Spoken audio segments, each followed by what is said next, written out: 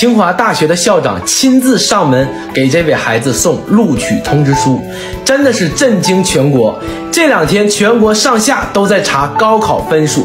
在河北沧州，有这样一位农村的孩子，他的名字叫庞仲旺，高考卷子总分是七百五十分，而他几乎考了满分。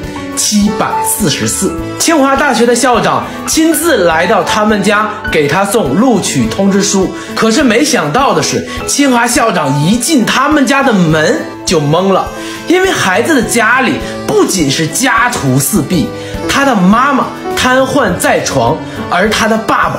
精神还异常，平时生活也是靠捡垃圾、卖废品为生。自己为了读书，但是买不起书，于是找别人借书来读。一个真正穷人家的孩子，就依靠自己考上了中国最好的大学，凭借一己之力，从此以后改变了自己的人生，甚至改变了整个家族的轨迹。这就是典型的寒门出贵子。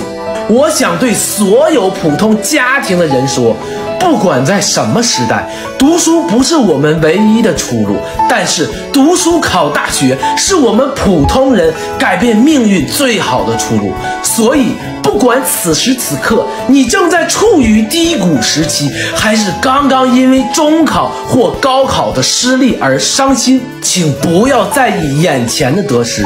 人生是一个长跑，只要我们相信自己。大不了从头再来。如果您的孩子正沉迷于手机不爱学习，如果您的孩子叛逆喜欢顶嘴，欢迎关注我，手把手教您把孩子培养的更优秀。